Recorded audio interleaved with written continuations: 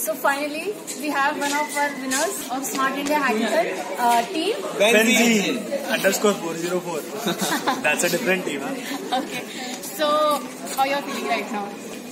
we are So, we won.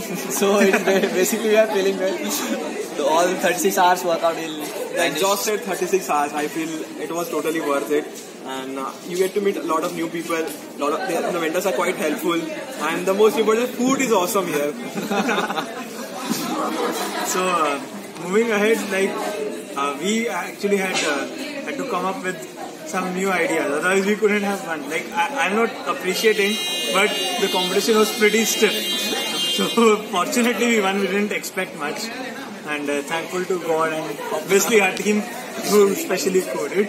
Uh, I think it was a great experience. And uh, how you are planning to take this win forward? So for basically, so we have developed a new algorithm. So we are planning for a research paper, so which can be published and help for uh, other villages also. Like not only for healthcare industry but other industries. Thank you so much, team. Thank you and congratulations once again. All the best. thank you.